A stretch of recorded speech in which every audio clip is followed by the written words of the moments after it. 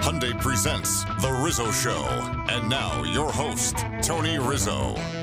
Folks, good evening and welcome. Special edition of The Rizzo Show. We are on remote at the legendary Cleveland Auto Show. Of course, we're at our Hyundai display, the title sponsor of The Rizzo Show. The beautiful Hyundais are here. In fact, Hyundai is the official car of the Cleveland Auto Show. Get on out to the IX Center this week. It is a Cleveland tradition. Check out all the beautiful Hyundai. Speaking of Hyundai, we have Mark Laffrey here from Hyundai joining us. Mark, thanks for being with us. Thank you. And we are so proud to have Hyundai as the official vehicle of the auto show That's this great. year.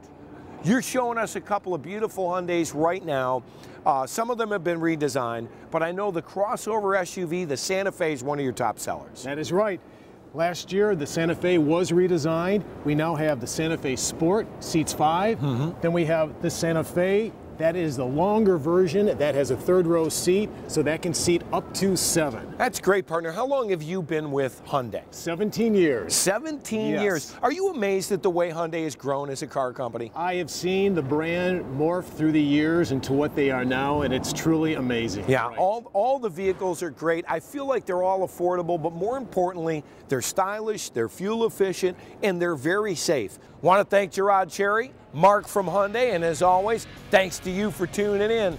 Good to be alive. See you again next week on The Rizzo Show. Check out the Hyundais here at the Auto Show. Good night, everybody.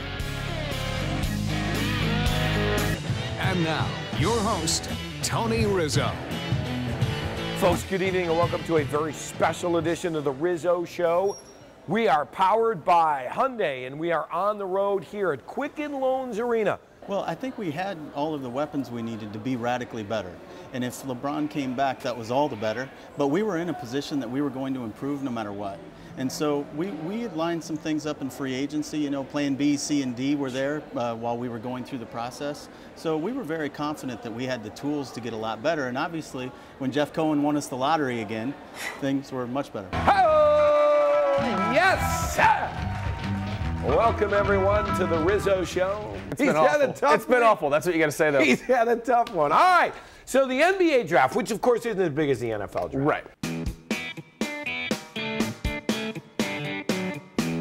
Welcome back, everyone, to our Hyundai Studios. It is the Rizzo Show. Rizzy and Mike Polk with you. Time to talk a little tribe. Can I say right now, very disappointed in you guys, Indians. I went to spring training with you, and I thought with our rotation set, we were going to be a playoff team. I know there's a lot of season left. Folks, I'm telling you right now, they're nowhere near a playoff team.